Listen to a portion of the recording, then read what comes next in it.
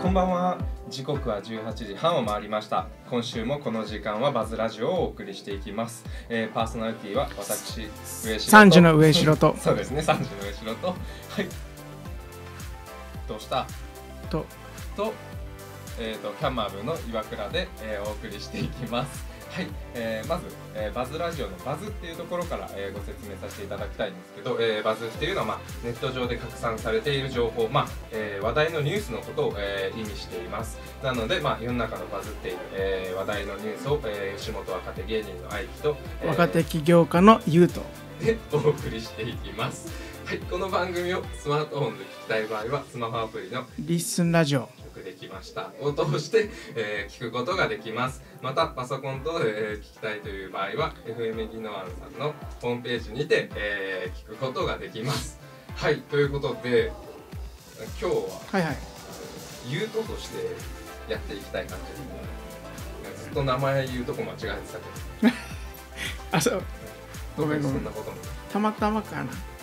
ごめん。お前の名前言っちゃった。ごめんねたまたまじゃ間違えたということではい。で、えー、一応今日の方もえっ、ー、とまあ通常通り、えーまあ、今話題のバズってるニュースを、えー、2つ。で、えー、今週からちょっと新しい取り組みになるんですけどちょっと過去にバズっていたことをクイズ形式でやるコーナーをちょっと最後に、えー、設けたいなという形で、えー、考えているので最後まで、えー、どうぞお願いいたします。3台で楽しめる東南植物楽園ここでしか見られない珍しい植物にガイドツアー。かわいい動物にも触れ合える。地元食材でもてなすレストランピースも好評。営業中。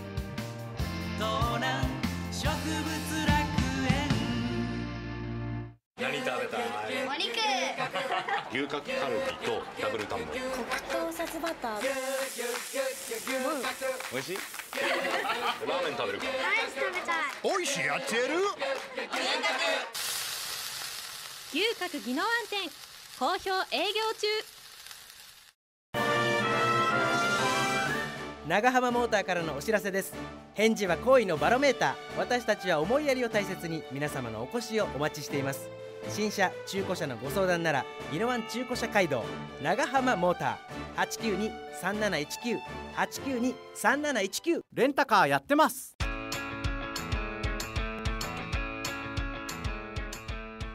はい、えー、じゃあね、えー、早速、えー、今日の1本目のネタの方を、えーはいはいはい、お伝えしていきます。はい、1本目のやつが、まあ、今日、えーと、車で、えー、乗ってる時にテレビで見た話題の一つになるんですけど、えー、まあ某有名人女優の、えーと、とタレント？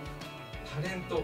タレントかな？のなんか不倫してたんじゃないかみたいなはいはいはいはい。の、えー、情報を見てて、まあもう名前言っちゃうと木下ゆきなさんが、えー、過去にずっと不倫をしてたんじゃないかっていう、えーと、ニュースが取り上げられててそう。でなんかこの、えー、バズラジオで不倫取り上げることって今までなかったんだけど確かに。なでもなんで今回不倫を取り上げたかっていうと、うん、ちょこのなんで不倫をしてるんじゃないかっていう疑惑が出たのかっていう、うん、そのちょっとややこしい。なんで取り上げたかというとなんで その情報源 がなんか普通は写真撮られたとか。はいはいはい、が結構一般的かなと思うんだけど、うん、今回はこのインスタの投稿の文章あら名探偵がいらっしゃった。そうそうそうこれも見てびっくりしたんだけどよくここから読み取ったなってえこれお前がじゃないでしょ？誰かがじゃないじゃない。もう日本の誰かが。解読した。気になる。そうしかも写真じゃなくても文章を解読したら実はなってたんじゃないかっていうのがあって、はいはい、気になる？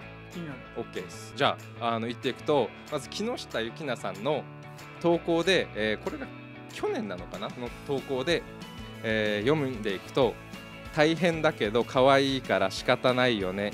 いっぱい遊びまくっていっぱい寝てしんどいぐらい喧嘩して手をつないで寝てる。ずっとこの繰り返しっていう。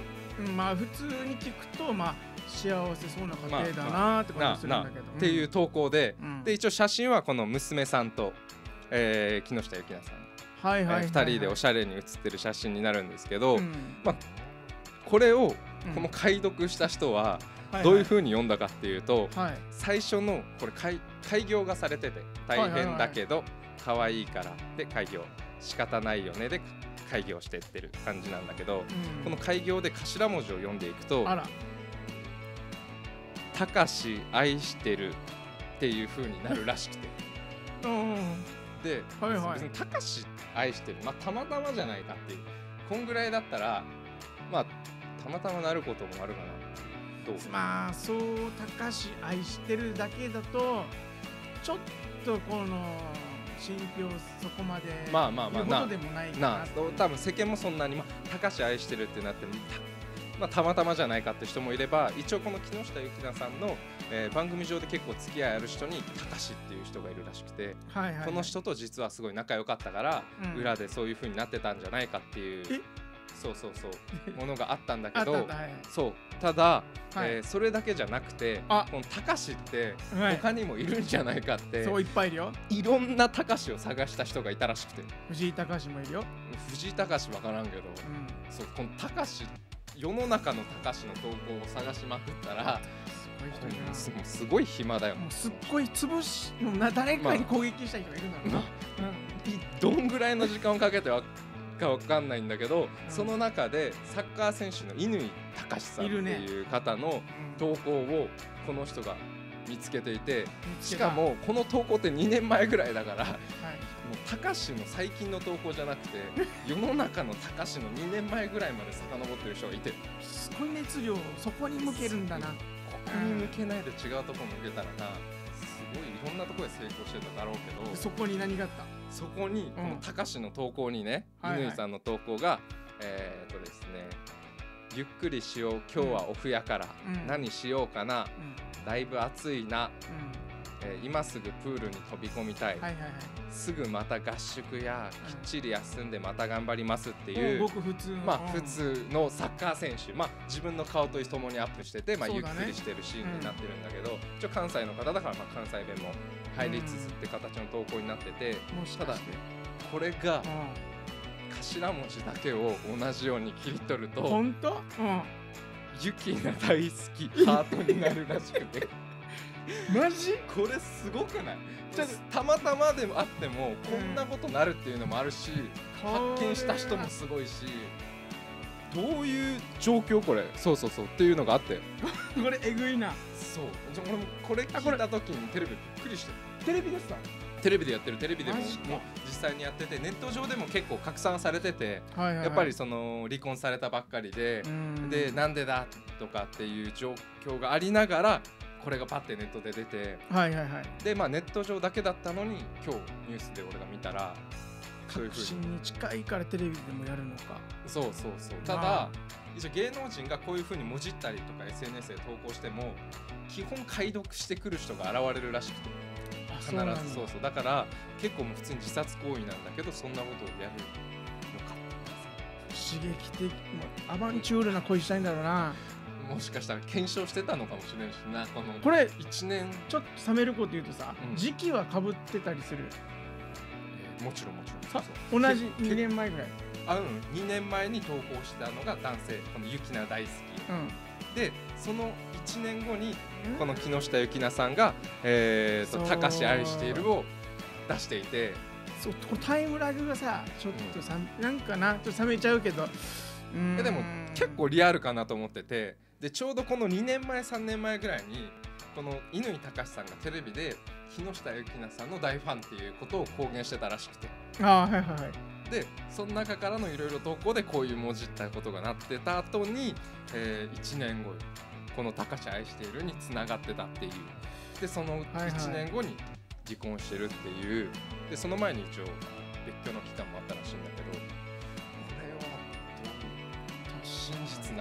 って俺インスタとかあんまやらんから、うん、この文章がちょっと不自然だわけよ俺からしたら、うん、なんかこの一文字なんかこの接続詞がないと言いますか。なるほど。なんかちょっと違和感感じるんだけどわこんなもんじゃんインスタは。あの言葉、うん、いや俺も文章的にも何言ってるか分かんねえなと思ってたんだけど。ちょっとなんかあの才能がある人の音楽みたいな宇多田ヒカルちょっとまあ文字消す何言ってんのか分からない何言ってる本当にそんな感じで大変だけど可愛いから仕方ないよね。いっぱいっても。むちゃくちゃな まあまあまあなだから無理やり頭文字合わせるためにだったらまあ辻褄が合うなって俺も思ったんだけど。でもこの人ヘキサゴン見てる限りこの人にこんな知恵があるかな。これままたこれ裏でまあまあまあ。また島田紳介さんが。そんなこと関わってるんじゃないかもうそうしないと売れないかってまあでもなんかヘキサゴン出てるバカのメンバーとかも、まあ、バカなっていうかバカタレントっていうふうにされてた方たちも結構やっぱ賢く戦略的にやってたっていう噂があるからで今日のテレビでもそれ話してて実際えー、木下ゆきなさんはすごい賢くてあそうなんだ、うん、いろいろ考えて行動している方だからこれをそうそうそうそう分からないでやることはないんじゃないかっていうのもまあ一つ目のでこれはタピオカの事件があったさ、うんうん、あってからの誰かが猛攻撃して出てきた誇りこれ。それともこの人がある前からこの事件の前。あ。あ前にこの投稿しててあこのでタピオカはこの記事がこの、はい、なんていうの浮上してきたのはタピオカの後？誰かが見つけたってこと？あとそうそうそうそうタピオカっていうかこのえっ、ー、と離婚した後だった離婚して本当に1週間後ぐらいに出されたから多分離婚してなんで離婚したんだこの人たちはっていうのを探してったらそこに行き着いたっていう。はいはいはいはい。そうか。ね。俺もびっくりしたっていうのがまあ一つ、うん、えー、あってそうそうそうそうそう。これはまあ真実は誰にも分からんが確かに、まあ、多分、ね、今月とか、えー、かなっていうところで、まあ、一つ俺が注目してたニュースが一つあって。ん？そう。で、うん、えー、っと いや。えー、もういっちゃういっちゃう。どうした？言っちゃうと、うん、あのこれいつもと違うとこで今撮ってるじゃないですかラジオ、うん、でいつも時間見ながら、あの進めてるんだけど時間どこなのああこれじゃなくてこの残り時間っていうか12分ぐらいあ12分ぐらいあるそうです。だからもうもしかしたらこれ1個で終わっちゃうんじゃないかなっていうのがちょっと気になってキョロキョロし始めてて、うん、そう俺はよ一応まあこれ聞いてる皆さんわからないと思うんですが、うん、この隣の30の上城が、うんうん、このパソコンでこのネタを書いてくるんですよ、例えば今日のと木下ゆきなさんみたいなこのテーマで書かれててあこんな話があるんだって。次のテーマちらっと見えてて。まあ今から多分言うと思うんですけど3時の上昇が、俺はなんかそこまで興味がないそうそうな読んで何だった？2個目の。2個目のテーマ。2個目のテーマは、ネットフリックスでジブリが見られるっていう、どうでもよくない。ちょうどさっきパーって出だしてあジブリこれバズってる？本当にまあジブリはもうバズってるよずっと。ヤフーニュース。ずっとジブってる。ジブってると分からんけどネットフリックスそうそうかけてたから俺ネットフリックス登録してないんだけど一応。ななんだそ。れアマゾンプライムは登録しててそこでジブリとか見られたらいいなって思っててしょっちゅうジブリ見たいなって思ってたんだけどそこであネットフリックスの方が先に出したから俺結構ドラえもん見てて。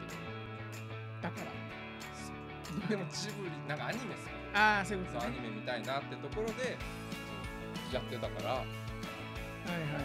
そうやジブネットフリックスジブリが見られるという。情報を得た上城です。確かに。に対してバズってない バズまあまあまあ。まあでももしかして全部の作品。じゃないかな。じゃないかな。情報も薄いもうさ最初のあのタイトルだけで、はいはいはい。ブリいいな。でメモったら中の情報も薄いけどはいはいはい。見られる。見られる。まあ言ったらジブリとか見るみんなそうだジブリはねそでもみんなが言うほど好きでもないから。みんなが言うほど好きでもジブリってその日本の人からしたら少し好きさ。まあまあまあまあ女性からも人気があって、そこまでかな。テレビでさ見るぐらい。ジブリで影響を受けたことない俺の人生。別にジブリで影響を受けてる人少なくない？いやいるいる。どう影響を受けるの？いるジブリじゃない？やっぱトトロトトロえ？とかトトロみたいななりあるんか。な分からんけど。せめてメイみたいっきのやつと関連してこのジブリとかもさあのさっき話してたそんなに暇な人いるみたいなところにまたちょっと戻っちゃうんだけどトトロとかもなんかいろいろ憶測が飛び交ってるの分かる？はいはいトトロ。もしかしてトトロは死神だったみたいな。まあまあまあ。やもうなんかそういう回に今日なっちゃうんだけど なぜか。あもうなっちゃう。トトロに。いあやいや俺もこういうの結構好きでえ多分ワンピースとか好きさ。誰？あなた。ああワンピース。まあワンピースとかもあるじゃん。なんか全然まだ先出てないのに誰工々の。工作が好きなんだ。そうそうそう。お母さんはこうだったんじゃないかみたいなのが出た時にうん。そうなのでなんかみんな辻褄いろんなとこから引っ張り合わせて無理やり合わせていく感じ。伏線が好きなんだ。ねそうそう。はいはい。でそれを本当に作者が考えてたのかとかも好きだしはいはいはい。逆にそれをずっと分析してる人はどんな人なんだろうっていう。お前お前だろ。インスタ見つけたの。いやいやいやいやいや。ほんいやこれ。俺そんなに暇に見える。日頃。遠回しに。やっぱこういう人って、うん。自分からはこれすごい作詞の犯人さ。うん。こう自分から犯人だって名乗り出るというよりは見つけてほしいという願望が強いわけ。サイコパスのちょっといやいやいやいやそういうのが俺に言って俺に言ってほしいのかなと思って。ずっと持ち上げてるから探した人すごい。そんなそんなことまめなことできない、あそっか、うん、でもトトロはなんか死神でなんか猫バスに乗ってあの時に、えーお姉ちゃんと妹の方が亡くなってたんじゃないかっていう憶測があってそれもちゃんと全部理由があって猫バスが来た時からこの2人は誰とも会わずになぜか最後のシーンでも木の上。に座っていてこのお母さんとお父さんを笑いながら見ているっていうシーンがあるんだけどはいとかも全部そのなんだろうその時に川で事故に遭って実際はその時に死んでいて川で事故に遭ったっていうのはこのトトロ俺トトロ見たことないわけないんかい。出てくるわけ？出てくる出てくる。そのそうそうそうそう村で妹が亡くなってえでお姉ちゃんが、が探しに行って2人とも見つからなくなってで妹の方の靴が落ちててみたいな。うんでどこで見つけたかっていうなんかトトロのなんかそういう。俺もしっかり覚えてないんだけど木のとこでなんか見つかったかなんかで猫バスに乗ってお母さんの病院のとこまで来てでお母さん元気になっててよかったっていう木の上でやってはい。終わりっていうなんかなんで会わないんだみたいないろんな憶測がある中で実はこの亡くなっている人とか亡くなる前の人にしか見えないんじゃないかっていうことを影がなんかあるみたいそうそうそうそうそう。そうで他の人には見えてないとかっていういろんなそこまで早尾先生は考えてたどう？な確かにそうだね。あの人は確かにすごいんだ知っけどてるんか。あのでももうだからそこまで作者も考えて作ってるんだったらさらにすごいなって思うし考えてないで偶然であれば見つけてつなぎ合わせてる人はすごいなっていう。う確かに。そうそうそうそう。そんだけのあのうん。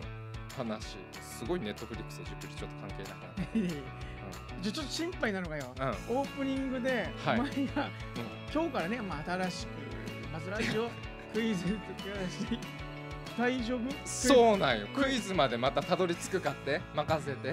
もうそれもさっきちょっと時間分かったから大丈夫です。なんで一応まあクイズの時間も、えー残しておきたくて今日からまあクイズ形式で、はいはいえー今までは多分今最先端のバズりだけを放送してはいはいはい、たんだけど、そうですよ。うんこう今日からちょっと最後の方で、はいはい。えー過去にバズってたあらことをクイズ形式にあら、すごい。していけたらとすごいな、全部の世代取れるさ、このラジオ。そうなんあーすすごい。面白い企画すだろごい企画。うん、やなんでこれ聞いてる方も、うんあのまあ、運転中でももうクイズだったらいろいろ頭の中であこれかなとかってできると思うんで、そうだまあ聞いね。てる方も楽しめつつ自分らも楽しめるようにやっていけたらなっていう形でうんクイズを持ってきました、夢中になりすぎないで赤も、赤を通り過ぎるようなことしないでほしいな、運転中。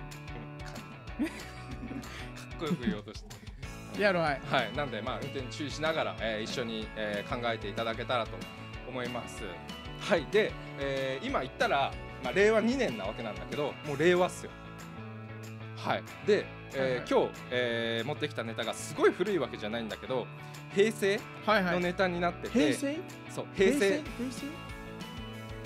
ああ前の言語そうもう今を生きてて。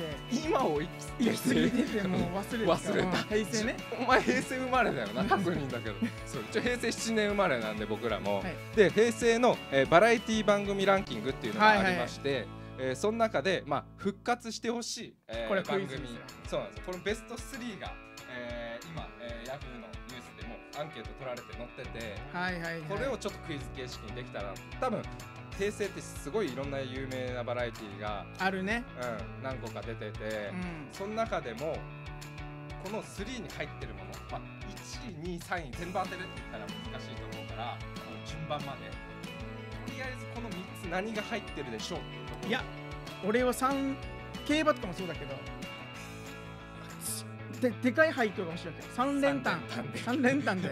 三連単、うん、なるほど。全着当てますいつも通り競馬で、うん、どうしても競馬なんですじゃあ三連単で当て当てましょう、うん、えー、まず三位から。でも三連服にしようかな。ちょっとあ ちょっとビビってちょっとビビってきたんで、うん。うん、そうそうしよう。終わらなくなるから、うん、そうしようそうしよう。ちょっとね、